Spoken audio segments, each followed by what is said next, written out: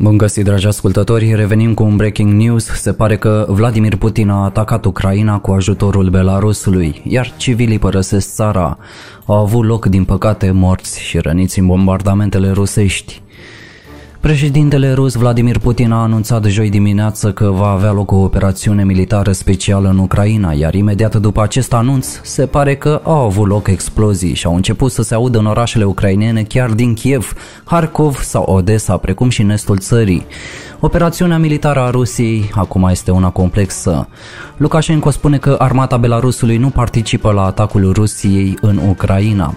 Președintele Belarus Alexander Lukashenko a declarat joi că forțele armate din Belarus nu iau parte la operațiunea militară a Rusiei împotriva Ucrainei. Mai informa agenția de presă Belta citată de Reuters și France Press. Na, Acum ca să deduc niște treburi. Toată lumea spune că nu este angajată în acest război, precum și Belarusul nu vrea să se implice, doar Rusia. Până la urmă, e treaba lor. Serviciul de grănieri al Ucrainei a anunțat mai devreme că trupele ruse au atacat Ucraina din Belarus, precum și din Rusia cu asistență belarusă în jurul orei locale 5 dimineața. Lukashenko declara că trupele noastre nu iau parte la această operațiune în timpul unei reuniuni cu șefii armatei sale conform Agerpresului. Imagini după bombardamentul rusesc din regiunea Harkov este unul dezastru. În orașul Ciuhuiv din regiunea Harkov, populația civilă a fost puternic afectată de bombardamentele rusești. Au fost localizate două ținte neidentificate, s-ar fi apropiat de insula șerpilor din Marea Neagră și aici, aproape de noi, nu? Autoritățile ucrainene anunță că două ținte neidentificate s-au apropiat de insula șerpilor din Marea Neagră, fiind cel mai probabil vorba de nave rusești. Acestea le-ar fi cerut grănicerilor să se predea, iar insula Șerpilor se află la mai puțin de 50 de kilometri de Sulina, fiind un punct strategic în Marea Neagră. Potrivit autorităților de la Kiev, coloanele de tancuri rusești au intrat în regiunea Lugansk. Președintele ucrainean Volodymyr Zelensky a ordonat trupelor sale să le producă pierderi maxime militarilor ruși care au invadat Ucraina. Transmițea acesta pe Facebook comandantul șef al forțelor armate ucrainene, general Valery Zeluzhny, potrivit presei AFP. De asemenea, într-o declarație de presă, acesta a mai spus că Ucraina rupe relațiile diplomatice cu Rusia. Acesta spune că Ucraina este atacată din nord și sud și avem răniți printre militari. Avem nevoie de sânge. Vă rugăm să veniți să donați. Am închis relațiile diplomatice cu Rusia. Ucraina se apără, nu va ceda libertatea. Pentru ucraineni, independența este cea mai mare libertate, mai declara Zelensky. Primele informații despre victimele invaziei din Ucraina, cel puțin 8 persoane erau ucise și 9 erau rănite în bombardamentele rusești, mai declara un consilier al ministrului ucrainean de interne potrivit Reuters. România a cerut activarea articolului 4 din tratatul de la Washington care stabilește un mecanism de consultare între aliați în contextul conflictului din Ucraina, mai anunța ministrul român al afacerilor de externe Bogdan Aurescu. Potrivit articolului 4 din tratatul de la Washington, părțile vor avea consultări comune, ori de câte ori vreuna dintre ele va considera că este amenințată integritatea teritorială, independența politică sau securitatea vreuneia dintre părți. România a făcut solicitare împreună cu Polonia, Cehia, Slovacia, Bulgaria și țările Baltice. Ministerul Apărării din Ucraina, trupele rusești, ne spune că suferă pierderi, iar Rusia spune că a neutralizat apărarea antiaeriană ucraineană. Forțele naționale de apărare care folosesc dreptul de autoapărare conform articolului 51 din Cartea Națiunilor Unite contracarează cu demnitate încercările inamicului de a trece frontiera de stat, mai spunea ministerul într-un comunicat distribuit pe WhatsApp. Situația este sub control, trupele ruse chiar suferă pierderi. Ministerul a mai spus că nu a existat pierderi în rândul apărătorilor Ucrainei, iar într-o declarație anterioară, Ministerul Apărării al Rusiei a declarat că a neutralizat apărarea antiaeriană ucraineană, iar potrivit televiziunii CNN, informațiile nu au putut fi verificate în mod independent pentru niciuna dintre afirmații. Imagini noi apar pe rețelele de socializare cu atacul Federației Ruse în Ucraina. Într-una dintre acestea apare depozitul militar din Kalinivka, în sudul țării, cuprins de flăcări și fum. Franța condamnă ferm decizia Rusiei de a porni un război în Ucraina. Rusia trebuie să-și încheie imediat operațiunile militare. Franța este solidară cu Ucraina. Ea este alături de ucrainieni și lucrează cu partenerii și aliații săi pentru a pune capăt războiului, transmițea și președintele Emmanuel Macron. Președintele nostru Claus Iohannis a convocat Consiliului Suprem de Apărare a țării joi la ora 11 în contextul conflictului din Ucraina o urgență. De asemenea, Armata României a anunțat că a activat punctele militare de comandă cu atribuții în monitorizarea situației și coordonarea forțelor și mijloacelor destinate situațiilor concrete care pot apărea. Și purtătoarea de cuvânt a Casei Albe, Jen Psaki, a transmis joi că președintele Statelor Unite ale Americii, Joe Biden, nu va trimite trupe americane în Ucraina care să lupte contra Rusiei. Ambasadorii celor 30 de țări membre ale NATO se vor reuni de urgență joi dimineață la Bruxelles în urma operațiunii militare ruse împotriva Ucrainei, mai anunța un purtător de cuvânt al alianței. Cotidianul Wall Street Journal spune că sute de militari ucraineni se crede că ar fi fost uciși în atacul Federației Ruse, citând surse oficiale. Alte imagini apărute pe rețelele sociale arată lansarea unor rachete BM-30 Smerch din Rusia spre Ucraina, zona Belgorod, în nordul Ucrainei. De asemenea, în alte imagini video poate fi observată și baza militară de la Marea Neagră a forțelor navale ale Ucrainei, atacată și avariată de forțele ruse. Liderii europeni reacționează dur după atacul Rusiei asupra Ucrainei. Uniunea Europeană va trage la răspundere Moscova pentru atacul nejustificat asupra Ucrainei, a declarat joi șefa executivului blocului comunitar Ursula von der Leyen. În aceste ore sumbre, gândurile noastre sunt cu Ucraina, cu femeile, bărbații și copiii nevinovați care se confruntă cu acest atac neprovocat și le este frică și pentru viața lor, scria Ursula von der Leyen. Liderii Uniunii Europene urmează să se întrunească într-un summit de urgență în cursul zilei de joi la Bruxelles, după ce o primă serie de sancțiuni europene împotriva Rusiei a intrat în vigoare miercuri. Astăzi, 24 februarie, ora 5 dimineața, forțele armate ale Federației Ruse începeau bombardamentul intensiv al unităților din Est și lansau lovituri cu rachete bombă pe aeroporturi. Totodată, agresorul a lansat bombardamente de artilerie ale teritoriului și așezărilor Ucrainei de-a lungul frontierei de stat. Forțele aeriene ale forțelor armate ale Ucrainei luptă împotriva atacului aerian. Forțele de apărare ale statului sunt pregătite de luptă, ocupate și mențin poziții defensive. Situația totuși este sub control. Informațiile despre parașutarea trupelor rusești la Odessa nu sunt adevărate, mai spunea și statul major al forțelor armate. Potrivit televiziunii CNN, convoaie militare trec prin punctul de frontieră dintre Belarus și Ucraina. Serviciul de frontieră din Ucraina spune că Belarusul atacă alături de Rusia și sunt folosite artilerie, echipamente grele și arme de foc. Atacurile de la frontieră au loc dinspre nord-est și sud, dinspre Rusia, Belarus și Crimea. Președintele rus Vladimir Putin și președintele belarus Alexander Lukashenko au vorbit joi la telefon potrivit agenției de presă de stat. Dimitri Kuleba a cerut lumii să acționeze imediat ca și răspuns la operațiunea militară a Rusiei în țară. Lumea trebuie să acționeze imediat, viitorul Europei și al lumii este în joc, mai scria Kuleba într-un mesaj postat joi dimineață pe Twitter. El enumeră măsurile care în opinia lui sunt necesare imediat. Sancțiuni devastatoare împotriva Rusiei să fie acum puse la dispoziție. Izolați complet Rusia prin toate mijloacele, în toate formatele, arme, echipamente pentru Ucraina cât mai urgent, asistență financiară și asistență umanitară, mai declara el. Între timp, în capitala de la Kiev au fost pornite sirenele antiaeriene. Rusia vizează infrastructura militară a Ucrainei, apărarea aeriană și forțele aeriene cu arme de înaltă precizie și nu atacă orașele ucrainene potrivit agenției ruse de presă RIA, care citează joi Ministerul Apărării de la Moscova.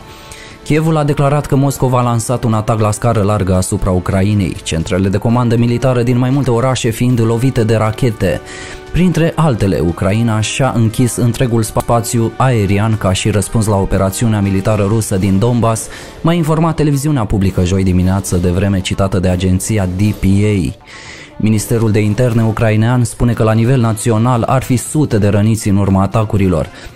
Președintele Ucrainei, Volodymyr Zelensky, a avut o primă reacție după atacul Rusiei și le-a transmis cetățenilor ucraineni să își păstreze calmul și să rămână în case. Zelensky a discutat la telefon cu președintele Statelor Unite ale Americii Joe Biden. Dragi cetățeni ucraineni, în această dimineață președintele Vladimir Putin a anunțat o operațiune militară specială în Donbass. Rusia a efectuat lovituri asupra infrastructurii noastre militare și a polițiștilor noștri de frontieră. S-au auzit explozii în multe orașe din Ucraina. Introducem legea marțială pe întreg teritoriul țării noastre. Acum un minut am avut o conversație cu președintele Joe Biden. Statele Unite ale Americii au început deja efortul internațional. Astăzi ar trebui să vă păstrați calmul. Stați acasă dacă puteți, noi lucrăm. Armata lucrează, întregul sector al apărării și securității funcționează. Fără panică, suntem puternici, suntem pregătiți pentru tot, vom câștiga pentru că suntem Ucraina, mai spunea Volodymyr Zelensky. Conducerea militaro-politică a Ucrainei este paralizată, trupele sunt complet demoralizate, nici măcar nu au declarat război. Războiul durează de o oră și jumătate, iar forțele armate ale Ucrainei au fost deja complet învinse. Surse militare mai declară că întreaga flotă ucraineană ar fi fost distrusă. Operațiunea militară a Rusiei pare una completă cu atacuri de artilerie și atacuri aeriene, în timp ce la granița Ucrainei cu Rusia și Belarus trec tancuri și convoaie militare. Operațiunea a început chiar în timpul unei ședințe a Consiliului de Securitate al ONU.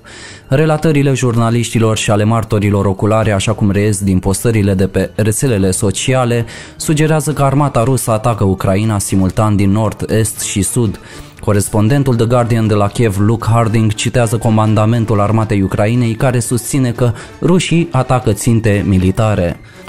Un avion de luptă rus efectuează lovituri aeriene asupra bazelor brigăzilor 25 și 93 ucrainene din regiunea Dnipropetrovsk. Președintele Ucrainei, Volodymyr Zelensky, a anunțat că va convoca Consiliul Național pentru Securitate și Apărare pentru a declara stare de război. Secretarul general al NATO, Jens Stoltenberg, a condamnat cu fermitate atacul nesăbuit al Rusiei asupra Ucrainei care pune în pericol nenumărate vieți de civili. El a mai spus că aliații se vor întâlni pentru a aborda noua agresiune a Rusiei. Suntem alături de poporul ucrainean în aceste momente teribile și NATO va face tot ce este necesar pentru a-i proteja și apăra pe toți aliații, declara Stoltenberg. La primele ore ale dimineții, după exploziile din Kiev, lumea panicată pleacă din oraș. În imaginile publicate din capitala Ucrainei se pot vedea coloane de mașini. Președintele american Joe Biden a descris acțiunile președintelui rus Vladimir Putin drept un război ales premeditat care va conduce la o pierdere catastrofală de vieți omenești și o suferință umană. Președintele american a mai precizat că va trage Rusia la răspundere, declarând totodată că monitorizează situația de la Casa Albă și că va primi actualizări de la echipa sa de securitate națională. În același timp, Joe Biden a spus că va colabora cu aliații din NATO pentru a coordona un răspuns comun, subliniind că Statele Unite ale Americii nu vor trimite trupe americane în Ucraina, iar de asemenea, liderul de la Casa Albă a declarat că se va adresa poporului american în cursul zilei de joi. Se aud avioane de luptă peste Belgorod, îndreptându-se posibil spre Harkov. În capitala Kiev se poate auzi cel puțin 5 explozii puternice joi dimineața după ce Rusia a început ofensiva în Ucraina potrivit televiziunii CNN. De asemenea, explozii s-au auzit și în Harkov, Mariupol, dar și în Odessa, relata presa ucraineană. Potrivit forțelor ucrainene de la frontieră pe întreaga linie a frontului de est au loc atacuri de artilerie. Trupele rusești ar fi intrat și prin sud, dinspre Crimea, acolo un post de trecere al frontierei că ar fi fost atacați de ruși. Președintele rus Vladimir Putin a avut un discurs joi dimineața în jurul orei 5 jumate, adică 4 jumate ora României, în care declara că toate analizele arată că confruntarea Rusiei cu aceste forțe este de neevitat. Liderul de la Kremlin a cerut armatei ucrainene să depună armele și a promis să contracareze orice interferență străină în operațiunea rusă în Ucraina. Și acum el declara că planul nostru nu este să ocupăm Ucraina, spunea Vladimir Putin. Și atunci planul care este? Să aduci teroare în Ucraina? Ucraina a închis spațiul aerian pentru aviație civilă. Autoritățile de la Kiev au emis Notice to Air Missions, adică o notificare prin care zborurile civile sunt suspendate. Președintele ucrainean Volodymyr Zelensky declara că Ucraina a rupt relațiile diplomatice cu Rusia și a spus că armata ucraineană duce lupte grele și că dușmanul a suferit pierderi serioase.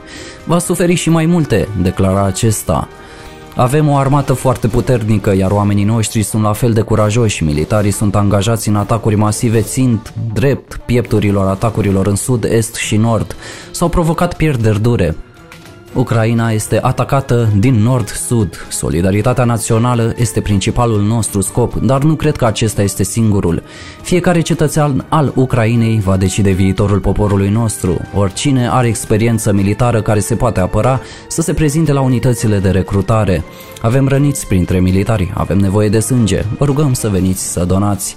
Banca Națională și sistemul bancar depun eforturi pentru a menține sistemul funcțional. Suntem cetățenii unei singure țări militare, suntem gata să ne susținem statul, fiți gata să vă apărați țara.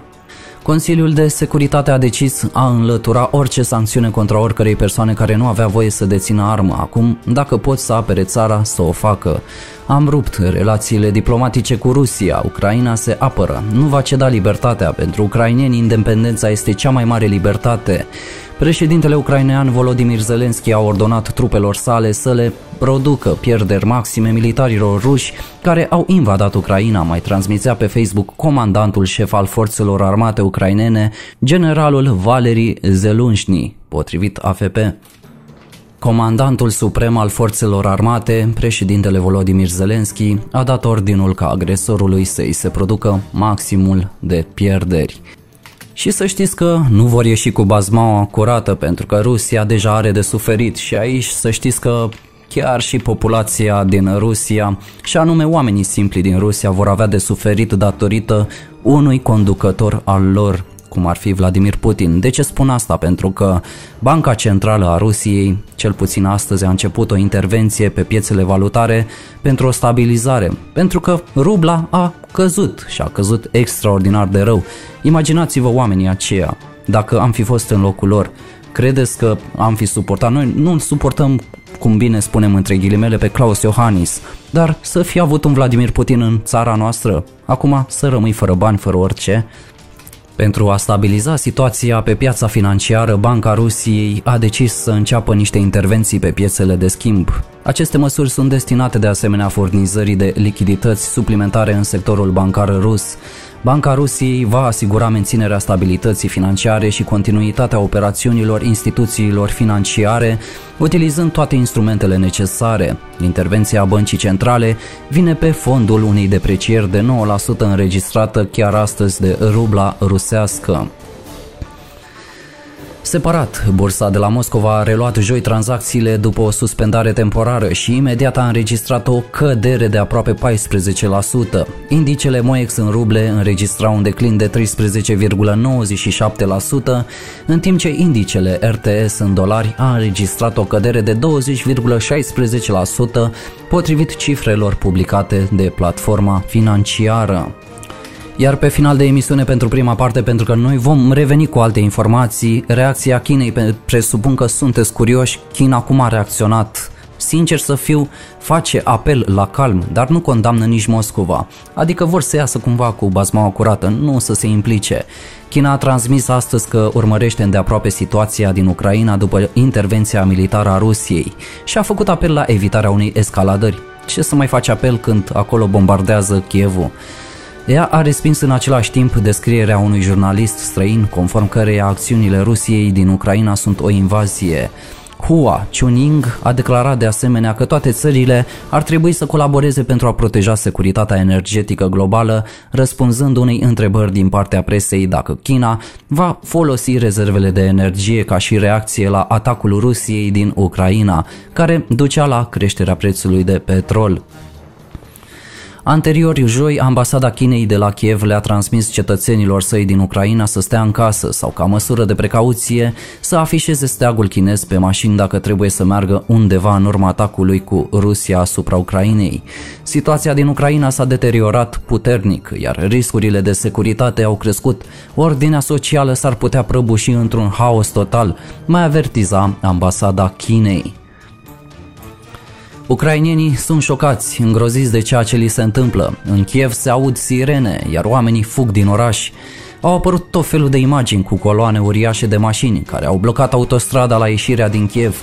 Între timp, alții s-au adăpostit în stațiile de metrou sau se roagă în genunchi pe străzi. Scenele sunt dramatice în orașele atacate. Ucrainenii se roagă pe stradă sau fug din oraș. Ieșirea din Kiev este blocată de coloane de mașini.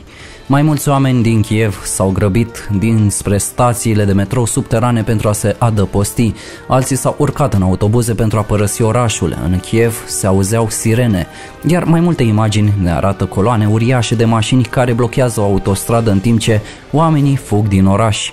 Și atunci cum poate spune China că totul este fake? Pe rețelele sociale oamenii transmit mesaje în care spun că sunt panicați și că încearcă să ajungă cât mai repede de în adăposturi antiaeriene și în subsoluri. Reporterii filmau grupurile de oameni care se roagă pe stradă îngenunchiați. Jurnalistul The Guardian Luke Harding din Kiev relata pe Twitter că oamenii stau la coadă la bancomate, cozi la bancomate sunt și în Mariupol. Între timp, corespondentul BBC pentru Europa de Est, Sarah Rainsford, a relatat că locuitorii din orașul Kramatorsk din regiunea Donbass din Ucraina sunt șocați și îngroziți de ce ar putea urma. Oamenii ieșeau pe străzi noaptea trecută în acest oraș, fluturau steagul ucrainean. Au spus că aceasta este țara lor și că nu vor pleca nicăieri. Nimeni nu poate să creadă că se întâmplă așa ceva cu adevărat. Primele bombardamente aveau loc chiar după ora 5 dimineață. Locuitorii din Kiev li s-a spus să rămână în case și să-și pregătească o geantă cu strictul necesar în cazul în care ar trebui să plece brusc. În oraș pe mai multe ziduri au fost desenate săgeți roșii care indică locațiile celor mai apropiate adăposturi antiaeriene. Aceste însemne existau încă din anul 2014, iar acum au fost marcate încă o dată în cu culoare ca să poată fi observate ușor. La ora 6 și 18 dimineața, cu două ore înainte de începerea zilei de școală, părinții copiilor care frecventează școala Ivan Franco din centrul Kievului au primit un mesaj ca să-și țină copiii acasă și că orele se vor face online. Noi vom continua cu mai multe informații, momentan atât pentru această oră. Stați aproape pe descoperătot pentru că, din păcate, situația a degenerat un pic.